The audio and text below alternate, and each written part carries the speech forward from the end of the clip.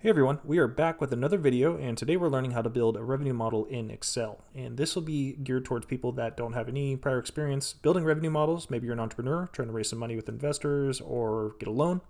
Uh, but if you have no prior background, this is the video for you. My name is Brandon Crossley. I am the CEO of Poindexter. And Poindexter helps people do exactly what we're talking about in this video, create revenue models and, and financial statements for the process of raising money from investors or getting loans. And so we've helped thousands of businesses do this, so we have some experience in this space. And our goal for this video is to show you how revenue models are built from scratch using some basic principles that you can then use to apply to a wide array of different scenarios. We're not going to be able to cover every sort of business model in this video, but hopefully after you watch, you will have the skills to be able to ask the right questions and tackle more difficult scenarios as you encounter them. We'll start by covering what a revenue model is. And quite simply, it's just the process of defining how the business will make money. When we talk about revenue modeling, we're looking at the success of that revenue model that we've defined over some specified time frame. And we do that by taking some core variables that are important to the success of the revenue model. For instance, in this case, we're looking at the number of customers, the average price they would pay, and then multiplying those two items together to determine what revenue would be to build out a very simple revenue model. This would be far more simple than anything you're going to encounter in the real world. Yours is likely going to be much more complex than this. So this is the base level knowledge that you have. So you now understand at least to some degree what a revenue model is. And in a moment, we're going to get into some of the tips and techniques that you can use to add some real world complexity into your model without getting too convoluted. Before we do, I wanted to cover a simple graphic that I found in researching this video that will help distill the revenue model down into five different components here, or five different questions that you can ask yourself. It was made by the University of Tilburg, if I get my sources correct, from Quora at least, and it allows us to ask five questions that will help clearly define or more clearly define what our revenue model looks like before we go about modeling it in Excel. So when we look at the questions, who pays, we might think of the typical scenario of an end customer just being the person that pays you and they get some product or service.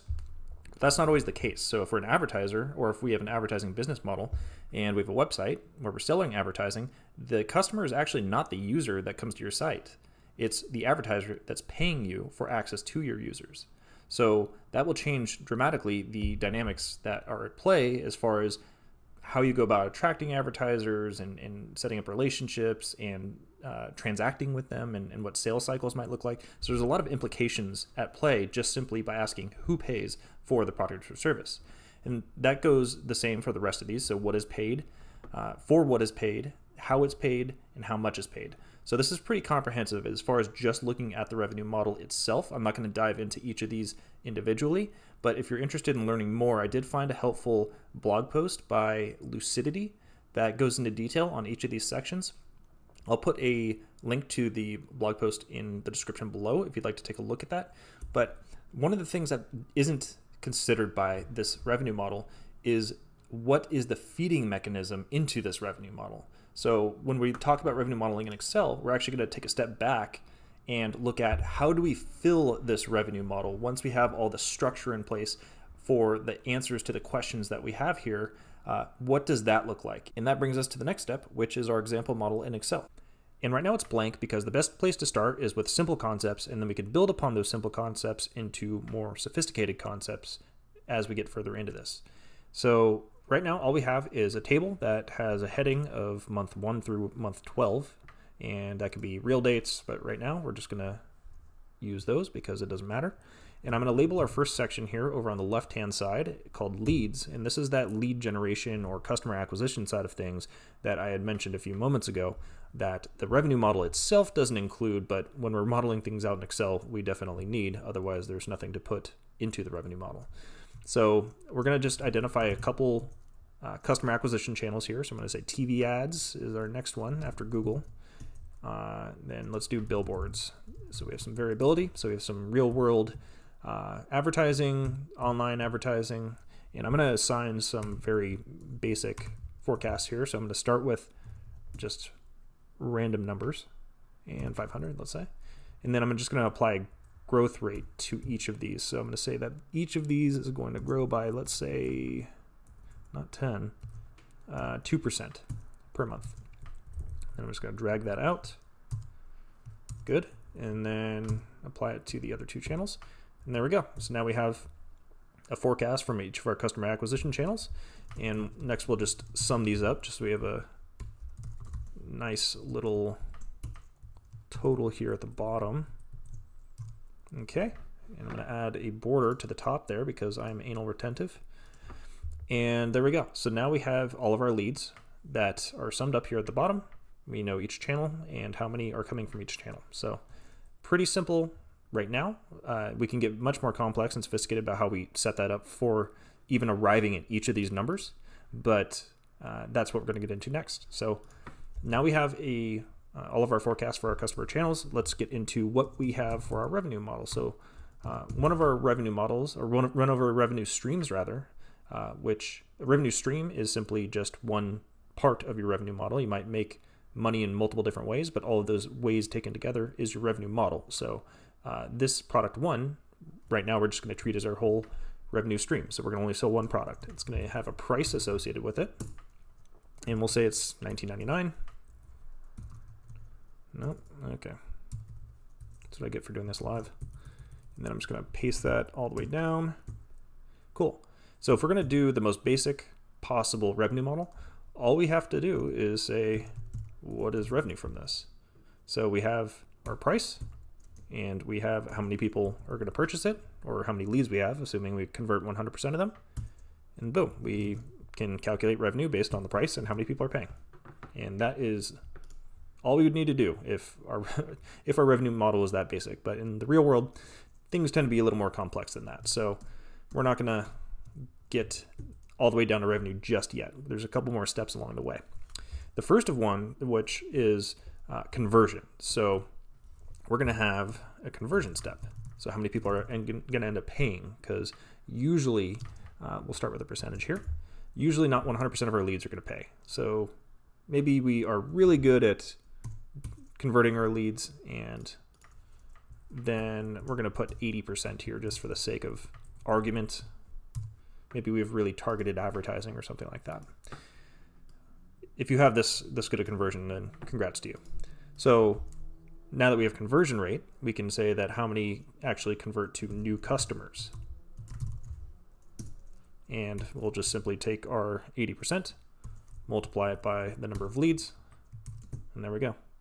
Now we have how many new customers we actually have uh, that we can say are purchasing our product. And so we can even take this number and then just multiply it by the price and again arrive at revenue. But what if, for instance, we didn't want to rely simply on each new month that we have we have in front of us the customers that we're generating that are new customers each month for revenue? What if we wanted to have a reliance on some of the previous customers we had acquired back in month one when we're in month six, for instance? Because uh, relying on new customers every month to drive your revenue is going to get very costly because you're reliant completely on the cost of customer acquisition. And it's much cheaper to rely on customers you had already done business with. It's much cheaper to get revenue from people that hopefully you've treated well, that have liked your service or business, and want to do business with you again. So, how would we go about modeling that scenario out? Well, first we'd want to start with what is the number of customers we have at the beginning of the month.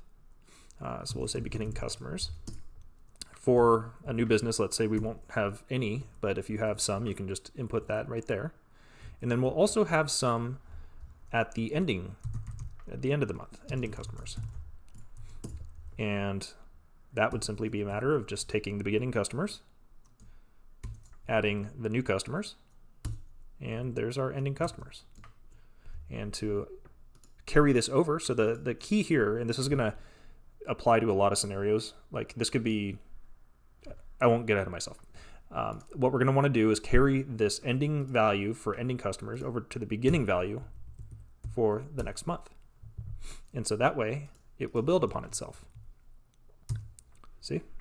So now I'm just going to drag this along here and drag that along here. And there we go. So now we have our customer base, ending customers for the month, constantly growing, being fed by the new customers that we're acquiring each month. Isn't that cool?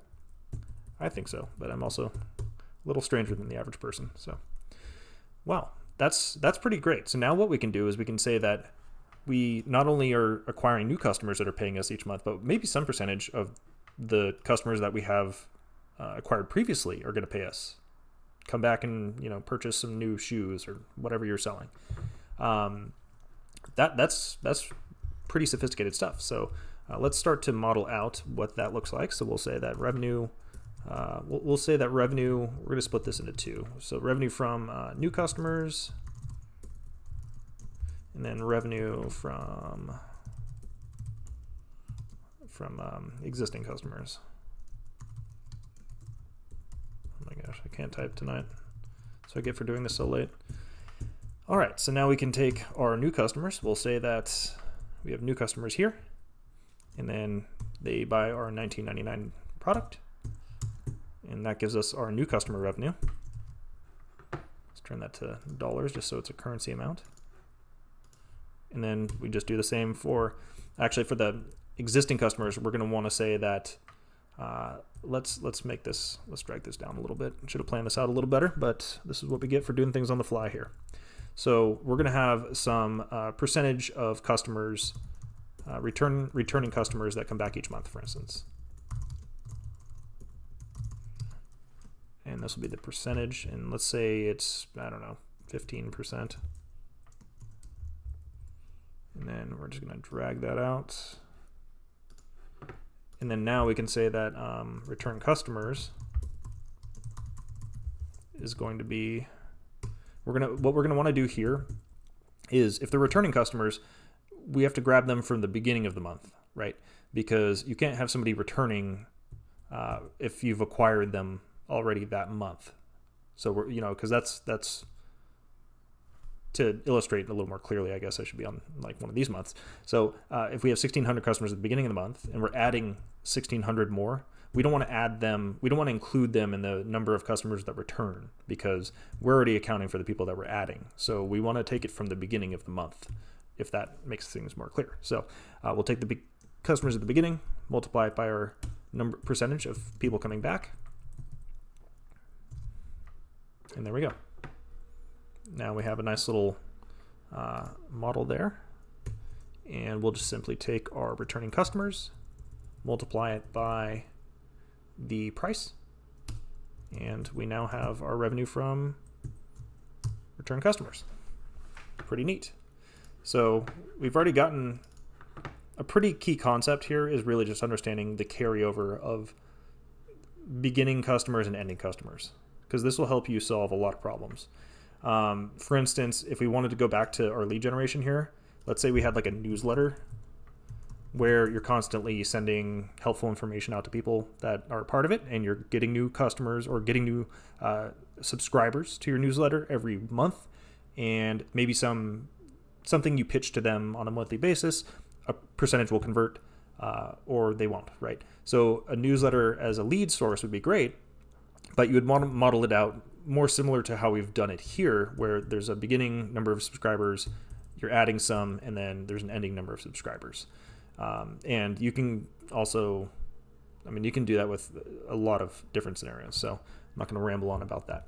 The only thing that's really missing from this is in reality, we are not going to have as clean of a model as this is because uh, it would be nice to have a number of customers that is constantly growing over time and never falls. Uh, but unfortunately, that's just not how reality works. So we're going to add some churn here. So this is another core concept is that some people are just never going to come back. And we're going to have to live with that, um, no matter how good our service is or our product. So we're going to add our churn percentage now. We'll say it's 5% or something like that, which is very good if you're in a software as a service business like we are. And then we will say that our churn is simply just take that 5% multiply it by customers at the beginning of the month, and there we go. And again, we're going to want to take it from the beginning of the month because the people, we don't want to include these new people again. Uh, they can't churn if we're getting them this month. They can only churn in the following months. So we want to take sure, make sure to take uh, the churn percentage from this beginning value here. Then all we have to do is make sure we subtract the people that are churning here uh, from our ending value so that we're not forgetting them in our final calculation. We don't want to do that. So let's try that again. And then subtract the churn field and cascade that down the forecast. And we can see that our number of customers at the end here kind of decreased marginally, which is expected to be the case. And if we just select one of these fields, we can see that we are now taking the number of customers at the beginning of the month, adding new customers, and then subtracting the customers that never come back because they ate some bad chili or whatever. But hopefully this provides a solid foundation for you to start to understand how to go about modeling scenarios in Excel so that they represent, at least to some degree, the real world. So if we wanted to make this even more complicated or more robust, let's say, and add a different product, we could simply just copy the product that we have here. We'll paste it down below, get rid of the logo, make this product number two. And then we're converting 80% to product one, so we'll say 20% to product two. And uh, there we go. I'll need to update some of these numbers uh, because they are not referencing correctly, but um, the idea is is quite similar. So all we need to do is just repeat this process for a similar type product to make a multi-tiered uh, product model, uh, which is quite nice. If we wanted to get into modeling out some customer acquisition, we can get more detailed about how to think about what this process looks like. So for Google Ads, what are the steps that these leads take before they become leads even? So they need to see an ad, they might need to click on it, they might need to sign up for a newsletter or a service of some kind. Um, what would that process look like? And maybe some good homework for you would be to, uh, instead of the simple revenue model we have now, think about these new customers. What if this wasn't a simple uh, price that they paid once. What if this was a yearly annual amount that they paid as a sort of subscription? How would we keep track of the 1600 one year from now so that they can pay the annual subscription fee when the time comes, when the subscription is due? So I hope that this was helpful and provided at least some background on how to go about doing this process. If you want any other examples of models or scenarios that you are encountering and would like some help with, uh, please let me know. I'm happy to do some more videos on this topic if it is of interest. If you found it helpful, please like the video and subscribe to our channel for more helpful content like this. Thank you.